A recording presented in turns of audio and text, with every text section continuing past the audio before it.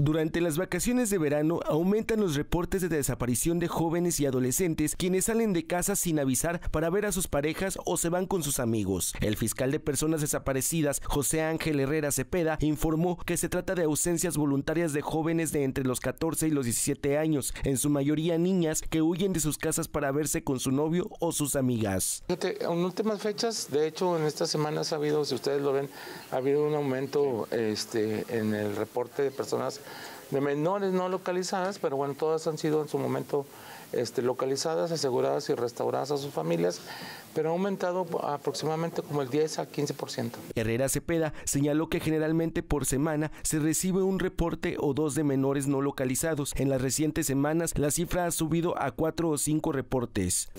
Tratándose de aquí de la región sureste, por lo menos tenemos de perdido cuatro reportes y en Piedras Negras también. Yo creo que es un tema generalizado también en la zona de la laguna. Durante esta semana la Fiscalía de Personas Desaparecidas emitió una alerta de búsqueda sobre tres jóvenes desaparecidos en distintas zonas de la entidad, mismos que fueron encontrados gracias a la activación del protocolo de búsqueda inmediata, con imágenes del staff. Para Telezócalo, Luis Durón.